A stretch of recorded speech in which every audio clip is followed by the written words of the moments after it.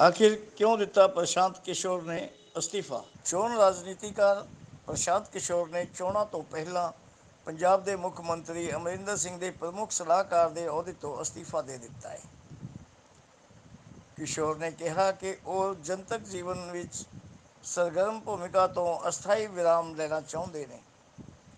ਉਹਨਾਂ ਨੇ ਅਮਰਿੰਦਰ ਸਿੰਘ ਨੂੰ ਲਿਖੇ ਇੱਕ ਪੱਤਰ ਵਿੱਚ ਕਿਹਾ, ਜਿਵੇਂ ਕਿ ਤੁਸੀਂ ਜਾਣਦੇ ਹੋ, ਜਨਤਕ ਜੀਵਨ ਵਿੱਚ ਸਰਗਰਮ ਭੂਮਿਕਾ ਤੋਂ ਅਸਥਾਈ ਬ੍ਰੇਕ ਲੈਣ ਦੇ ਮੇਰੇ ਫੈਸਲੇ ਦੇ ਮੱਦੇਨਜ਼ਰ ਮੈਂ ਤੁਹਾਡੇ ਪ੍ਰਮੁੱਖ ਸਲਾਹਕਾਰ ਵਜੋਂ ਜ਼ਿੰਮੇਵਾਰੀ ਸੰਭਾਲਣ ਦੇ ਯੋਗ ਨਹੀਂ ਹੋ ਸਕਿਆ ਹਾਂ। ਮੈਂ ਤੁਹਾਨੂੰ ਬੇਨਤੀ ਕਰਨ ਲਈ ਲਿਖਦਾ ਹਾਂ ਕਿ ਕਿਰਪਾ ਕਰਕੇ ਮੈਨੂੰ ਇਸ ਜ਼ਿੰਮੇਵਾਰੀ ਤੋਂ ਮੁਕਤ ਕਰੋ।